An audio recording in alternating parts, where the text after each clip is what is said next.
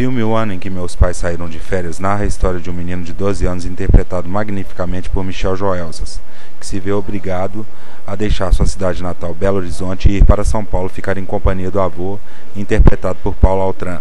Só que várias coisas acontecem na trama. Ditadura e a tutela do garoto fica com a amiga do avô, e os pais do ator principal são obrigados, em função da ditadura, a abandonarem o garoto. O filme foi indicado na categoria de melhor filme estrangeiro para concorrer ao Oscar, além de ser muito premiado nacional e internacionalmente.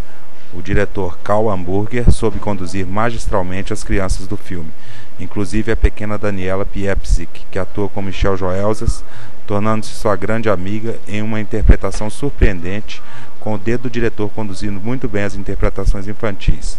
Haja visto sua habilidade no seriado Castelo Ratimbum. O filme, inclusive, está em reapresentação.